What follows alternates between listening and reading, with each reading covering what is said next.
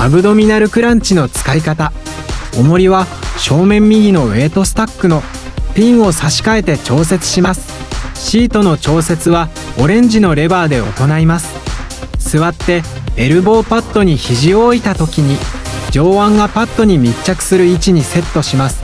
背中をパッドに密着させて腹筋をストレッチさせて。タートポジションを作ってください。大きく息を吐きながら腹筋に力を入れて体を丸めます。戻す動作は息を吸い込みながらゆっくりと行いましょう。腰を丸めるイメージで膝を軽く持ち上げるように力を入れておくと腹筋全体を使いやすくなります。ハンドルを持つ位置をできるだけ後ろにすることで背中をシートに密着させやすくなり可動域も増えます。腰が反ったり刺激が足りなかったりする時は足を閉じて持ち上げるようにすると良いでしょう。